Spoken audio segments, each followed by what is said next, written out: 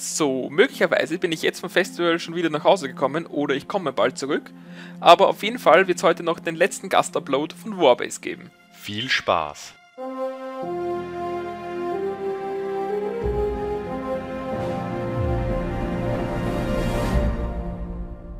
Obi-Wan Kenobi war einer der stärksten Duellanten seiner Zeit.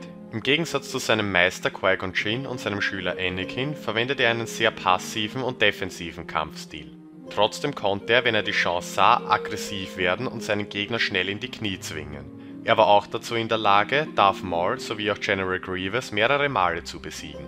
Obwohl Obi-Wan gewöhnlich nur ein Lichtschwert benutzte, schien er auch in der Kunst von Jia-Kai, also mit der Verwendung von zwei Lichtschwertern vertraut zu sein und kann sogar auf einem sehr hohen Niveau kämpfen. Dies kam beim Duell gegen Darth Maul und Savage Opress gut zum Vorschein, und es gelang ihm, in einem 1 gegen 2 mitzuhalten und sogar Savage Opress zu verletzen. Er war auch dazu in der Lage, sein Lichtschwert zu verwenden, um Machtblitze abzufangen und ihre Energie aufzunehmen, wie er es zum Beispiel im Kampf gegen Count Dooku demonstrierte. Kenobi war auch in der Lage, seinen ehemaligen Lehrling Anakin Skywalker, jetzt Darth Vader, in einem epischen Duell auf Mustafa zu besiegen. Er konnte Vader, nachdem er rücksichtslos auf ihn zusprang, mit Hilfe seiner ziemlich schnellen und aggressiven Angriffe zerstückeln.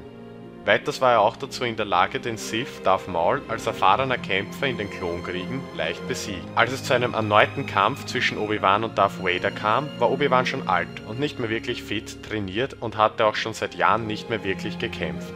Trotzdem war er immer noch ein würdiger Gegner und konnte sich gegen Vader für eine relativ kurze Zeitspanne halten, wurde aber wegen seines Alters und der physischen Kraft von Vaders Angriffen schnell erschöpft. Anstatt den Kampf fortzusetzen, entschied er sich stattdessen, seine physische Form zu opfern und eins mit der Macht zu werden. Somit konnte er beiden Skywalkers noch eine letzte Lektion erteilen. Also war dies alles Teil seines Plans. Obwohl sich Obi-Wan Kenobi weitgehend auf den Lichtschwertkampf fokussierte, war er auch sehr geschickt und mächtig in der Verwendung der Macht.